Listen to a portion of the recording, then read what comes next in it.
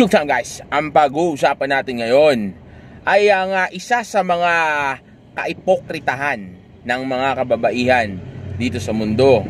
At ang uh, isang bagay na ito na gusto kong pag-usapan natin sa mga oras na ito ay walang iba kundi yung catcalling. Kumbaga yung issue nila with the uh, catcalling yung uh, tinatawag nila na pambabastos which is true okay pambabastos talaga yon kahit ako disagree ako dyan. Tandaan nyo may mga bagay na naidulot na maganda at hindi maganda ang uh, feminism. Actually lahat naman naman, naman ng bagay. Uh, kahit ano sa mundo merong uh, negative at positive right? So dito sa bagay na ito na naituro ng uh, feminism sa mga babae ang uh, bagay na gusto nilang uh, ma-achieve ay uh, maging uh, mas uh, above kesa sa mga kalalakihan. Kumbaga, maging mas mataas o mas maging powerful sa mga kalalakihan. Bakit? Kasi sabi nila, ayaw daw nila nang uh, binabastos sila, sinisipulan sila o tinatawag sila ng kung ano-ano mga salita, which is true. Wag naman talagang ganoon, di ba? Kahit kayo, dap, hindi talaga dapat gawin yon dahil kung sa kapamilya ninyo gagawin yung bagay na ganun, hindi nyo rin magugustuhan. Tama, right? Pero here's the, the uh, hypocrisy sa bagay na ito. Dahil kung titingnan mo, oo nga ayaw mo yung bagay na yon. Pero di ba't may iwasan mo naman? Di ba? Isang bagay na pwede mong gawin is magsuot ka ng maayos. Okay, sabihin na iba, wala ba kaming freedom na gawin yung dapat na gusto namin gawin para man lang, uh, di ba, maramdaman ko man lang na meron akong kalayaan na pumili ng gusto kong damit, di ba? Well, meron ka namang freedom to do whatever you wanna do, pero wag mong tanggalin yung freedom ng mga lalaki na nasa paligid na makaramdam ng gusto nilang maramdaman. Kasi nature namin yun bilang lalaki. Pag nakakita kami ng sexy, nakakita kami ng nakalabas na boobs o puwet, natural mapapatingin talaga kami. Hindi lang tingin, yung iba napapa, ano pa, sipol pa, napapareact pa. Dahil nature namin yun. Pero still, pigil na pigil pa nga kami. ba? Pero kayo, ayaw ninyong ayusin yung mga damit ninyo ang gusto ninyo mangyari, gawin ninyo yung mga bagay na gusto ninyong gawin na dapat eh mag uh, ang ang response namin eh mag-adjust kami. Pero samantalang kayo naman, ayaw niyo naman mag-adjust sa amin. Nature namin yung pag nakakita kami nagiging aggressive kami. So may na, may reaction kami. Ganon din ganon din kayo sa amin.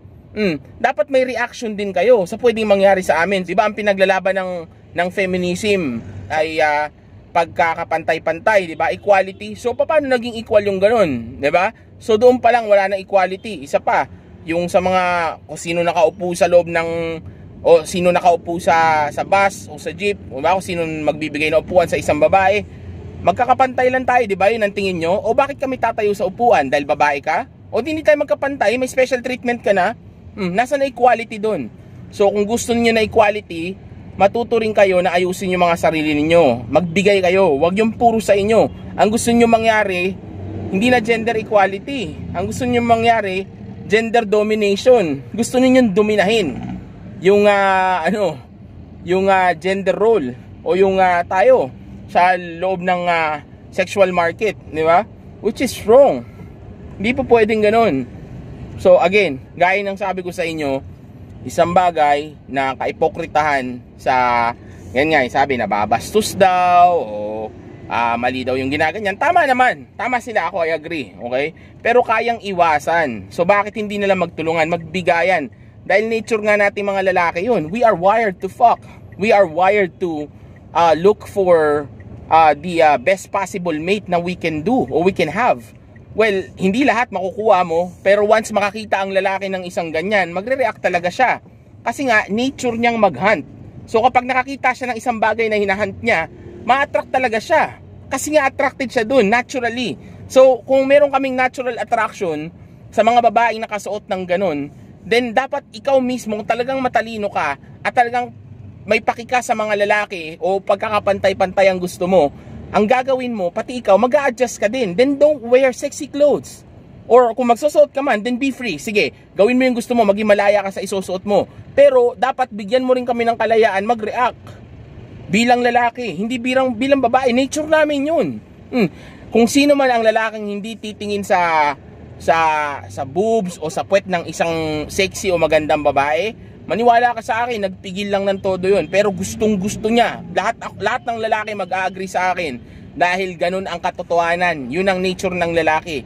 Pero since nga nag-exist ang uh, kaipokritahan sa mundo na to, ang gustong mangyari ng mga kababaihan, karamihan, eh kami lang ang mag-adjust, tarantaduhan. Kung talagang gusto natin ng kaayusan, bakit hindi tayo magbigayan? Diba? Kung talagang gusto natin ng pagkakapantay-pantay, bakit hindi natin gawing tama ang timbang? Kung ano yung sa'yo, ganun din dapat sa akin. O, di ba? O, di ba? Pero dapat nga, kami talagang nagli-lead. Pero kung talagang totoo yung pinaglalaban ng feminism, na gender equality, then, di ba? Why not let us react din kung paano kami magre-react. So may problema yun sa inyo. O nga, bawal nga maging bastos, hindi dahilan yun. Pero still, kung talagang pagkakapantay-pantay ang gusto ninyo at kaayusan, hindi ba't pati kayo mag adjust din? Dahil naiintindihan nyo kung sino kami, di ba? Di ba? Karamihan nga sa mga lalaki, di ba? Willing ibigay lahat. Pera, pagkatao, di ba? Um, trabaho, kinabukasan, minsan buhay pa para lang sa isang babae. Mm. Sipin niyo yung bagay na yun, para lang sa isang babae. So ibig sabihin, doon pa lang alam niyo na kaagad na meron na kayong advantage dahil nga kami attracted kami naturally sa babae. Kailangan ng lalaki na may mabinhian o may may makasix. Wired kami doon. Kailangan namin gawin 'yun. Yung iba na hindi kaya, nauuwi sa rape. Hmm. So, sino yung mga nare-rape? Yung mga ganon, mga ganong klaseng babae. Tapos kasalanan na namin yon bilang lalaki. Hindi na sasabihin na may kasalanan din yung babae may malaking partisipasyon, partisipasyon yung babae. Naging malaya ka sa gusto mo isuot. Pero gaya ng sabi ko sa iyo, yung mga lalaki, may nararamdaman sila, oo, magpipigil kami. Pero paano yung talagang hindi kaya magpigil? Yung hindi pa nakakatikim ng sex, yung hindi pa nakakita ng magandang nakaubad, di ba? Paano yung mga ganong klaseng kahayok o ilang taon nang di nakakatikim ng sex ni walang pambayad? Hmm, paano yung mga ganon? Yun yung mga nang rape yun yung mga umaabot sa hindi nila kayang pigilan. So instead na i-risk mo yung sarili mo bilang babae na mangyari sa mga bagay na yan, ang gawin mo, ikaw na mismo, ayusin mo yung sarili mo. Maging mautak ka. Para saan ba yung paghubad mo sa gitna ng kalsada? Wala ka rin naman mapapala. Hmm, makakuha ka lang ng atensyon. Sa internet na lang, oh, wala pang makakaano sa'yo. Pag may post sa, sa internet, alam mo na rin kung bakit. Kasi nga ganun ka. Ganun nga kasi ang lalaki. Iilan lang ang kaya magpigil. Hindi naman lahat kaya magpigil. So why take the risk? Why take the risk? Why risk your life? For what? For a cheap attention? Yeah? So, again, if you guys, shout out feminism, kung kayo, talagang gusto niyo ng pagkakapantay-pantay, respetuhin nyo rin yung mga nararamdaman namin mga lalaki. Kasi sinasabi ko sa inyo, kung di nyo magagawang respetuhin yung mga nararamdaman namin mga lalaki, hindi rin tayo magkakaayos-ayos. Maniwala kayo sa akin, pag, pag, pagpapatuloy lang tayo magbabangayan kasi walang gustong makinig.